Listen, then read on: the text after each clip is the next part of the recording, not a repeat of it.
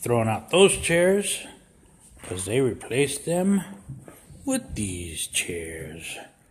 Look at those chairs. Why don't they take them to the thrift store instead of the? No, they're not taking them to the store. I heard where they're taking them. They're taking them to the storage.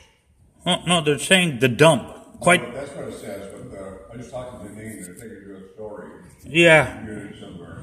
Yeah. There, maybe where the science file the storing. and that's not adding to mental disturbance at all. To write on it that it's going to the dump and then tell you that it's being storage. It's going to storage.